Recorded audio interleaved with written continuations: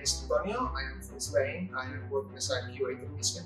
My name is Frank. I'm the maintenance manager at the company, and I'm from Hungary. I'm Vivi. From, I'm from Spain, and my position in the company is Quality Assurance Administrator Supervisor. Hello, my name is Ewelina Graczkowska. I'm working as a Quality Assurance Administrator. I'm from Poland. My name is Krista Smith, and I'm the sales manager for the UK, and I'm from South Africa. Hi, I'm Ea Beldi. I'm from Tunisia, and I'm the marketing coordinator of Plant-Ex. I'm Willy from Turkey. I work in Plant-Ex as a commercial assistant. Hi, I'm Christelle Tolozan and I'm a favorite uh, for three years at Plant-Ex Ingredients and I'm from France.